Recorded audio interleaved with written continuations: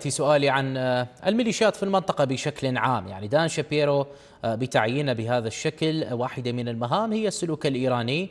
وهنا واضح بأن الكلام عن الميليشيات. يعني ما الذي ممكن أن نتوقعه من هذا التعاون؟ هل نحن أمام اتفاقية جديدة شكل جديد استراتيجية جديدة في مواجهة الأطراف الموالية لإيران في المنطقة بشكل عام؟ هل العراق في الصورة في هذا الموضوع من هذه الأفكار أم أن الأمر معني في سوريا ولبنان بشكل خاص برأيك؟ لا بل العراق يحتل أولوية أكثر من سوريا ولبنان في هذه المرحلة.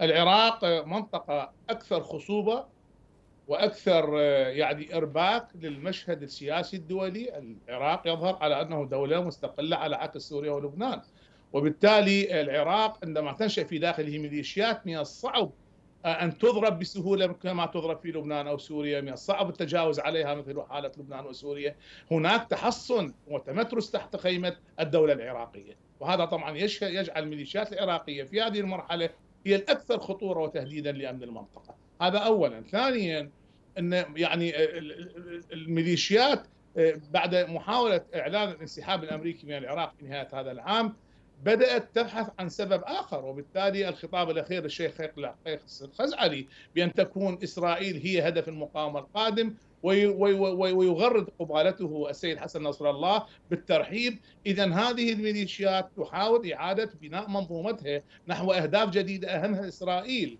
القضية الثالثة إن هذه الميليشيات في الحقيقة في جوهرها وفي نهايتها لا تهمها لا إسرائيل ولا أمريكا ولا حب إيران ولا حب العراق ولا كراهية. هذه ميليشيات لديها مشروعها الخاص وهو مشروع سلطة.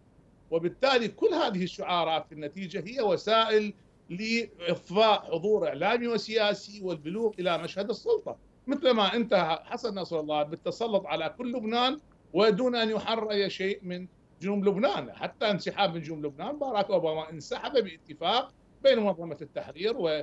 و... و... وإسرائيل في أمريكا، هذا انسحاب كان متفق عليه من غزة ومن جنوب لبنان، لكن اعتبره حزب نصر الله إنه هو انتصار له ويعني بروزه بنصر إعلامي وهذه ليست حقيقة في ذلك الوقت.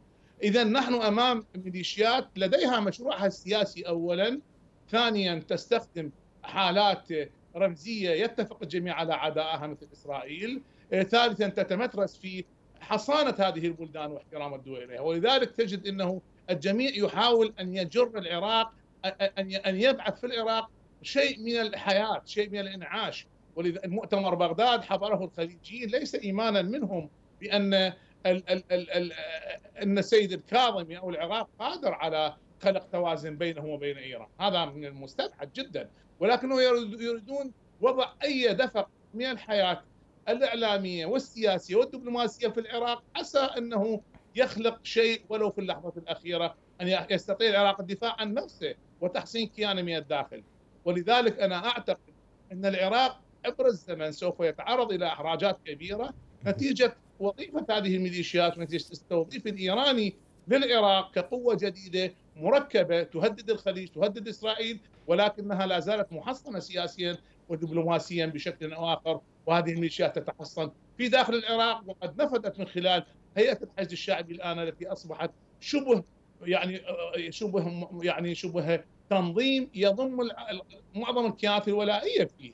حصريا دون سواها من يعني علويه العتبة أو سرايا السلام اذا الوضع في العراق هو الوضع الأكثر تعقيد وهو الوضع الذي يهدد كل كامل المنطقة وبطريقة من الصعب يعني أو بصعوبة بمكان أنه النفوذ إليه ومعالجه التداخلات فيه وخصوصا مع المطالبة وإصرار الحكومة في الاصطفاف إلى حالة المطالبة بغياب الحضور الأمريكي العسكري في العراق.